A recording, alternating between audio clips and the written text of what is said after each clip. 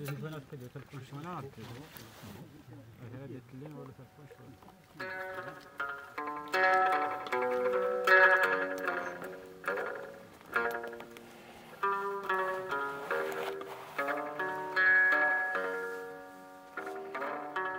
Le projet sur Cafila, c'est de réaliser en fait une, une bande originale, comme euh, la bande originale d'un film, qui, euh, qui serait cette caravane, qui, est une vraie caravane dans la réalité, en enregistrant des, sons euh, pendant, le voyage, euh, les sons du paysage, les sons de, des gens autour de moi, euh, de, la, musique aussi, vu que j'ai pris ma, guitare avec moi.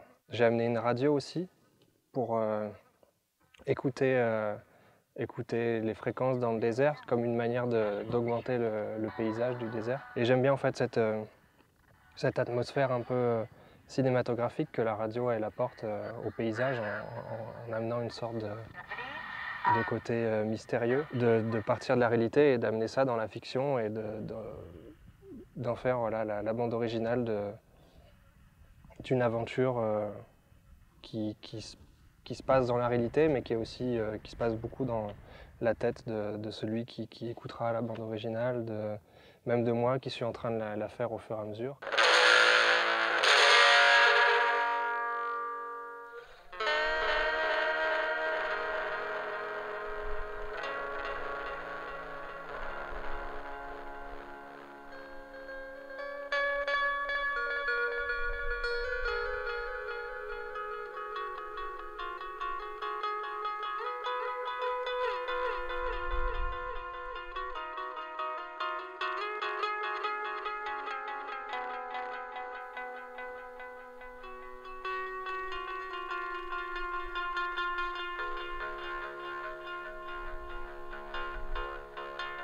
On a commencé à se réveiller vraiment, à prendre le rythme du soleil.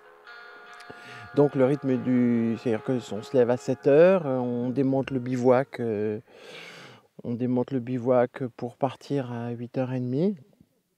Et puis voilà, puis après on fait... euh, on a attaqué notre marche quotidienne, donc une marche qui dure entre 3 et 5 heures. Donc en général on s'arrête vers 13h, 13h30, on monte le bivouac, euh, on coupe les légumes. Donc euh, c'est aussi un moment où on a fait plus connaissance avec les, les chameliers, les chameliers avec nous, parce qu'on est plus proches. Et du coup, ben, on- voilà, les, les résidents donnent un coup de main pour euh, le montage du bivouac, pour préparer la salade, et on se jette sur la salade. Et après, en général, l'après-midi, c'est plus tranquille. On, on se repose, on travaille. Donc moi, je dessine à ce moment-là, c'est-à-dire que le matin, pendant qu'on marche, je réfléchis à ce que je vais raconter, j'observe, je regarde. Et l'après-midi, bah, je dessine, je prends ma tablette. J'essaye de faire une page tous les jours, tous les 12 jours. J'essaye de. Enfin, je pas que j'essaye, c'est que je fais. Je, je fais des, je fais les dessins sur place, je fais les dessins en live. C'est pas du travail que je préparerai plus tard, c'est du travail que je finis tout de suite.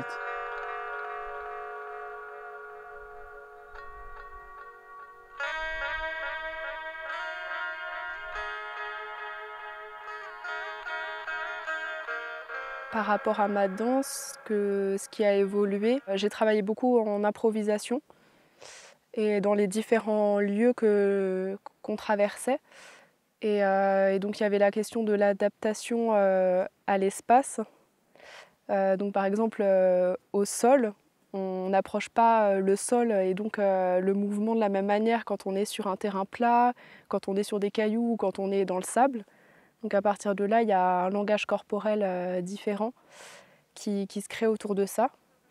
Et puis, euh, j'ai ressenti vraiment euh, une intériorité de plus en plus présente dans ma danse au fil, au fil du temps passé dans la caravane. C'était des moments assez introspectifs, parce qu'il n'y avait que le silence, la nature, les bruits de la nature qui m'entouraient. Et c'était des moments euh, assez forts.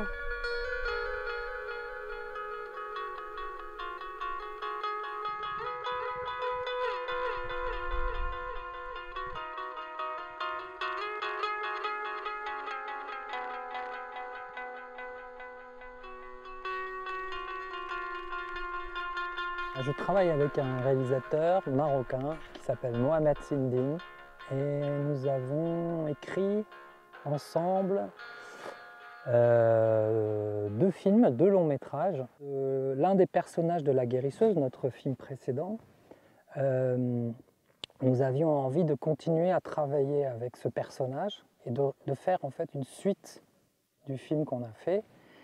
Et ce personnage qui part dans une quête à la recherche de son origine et qui se retrouve finalement confronté au désert. Et puis euh, le rapport à la, culture des chameliers, ça, va vraiment construire certainement euh, des choses autour du personnage euh, du film. Et c'est vrai que la découverte de tout cet univers va vraiment modifier beaucoup de choses de ce qu'on avait, avait un peu pensé comme ça. On s'était dit oui, on va faire ça, notre personnage va évoluer comme ça, etc. Et ben, il y a plein de choses qu'on ne va pas pouvoir faire parce que c'est pas possible, c'est pas réaliste, c'est pas crédible.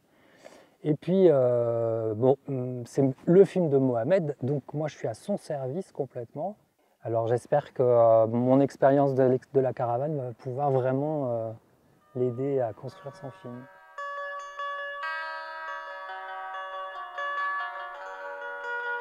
Je pense que maintenant, le coronavirus rentre dans l'aventure, rentre dans l'histoire. En fait, aujourd'hui, on est aussi dans une situation où tous les jours, on ne sait pas qu'est-ce qui va se passer les jours d'après.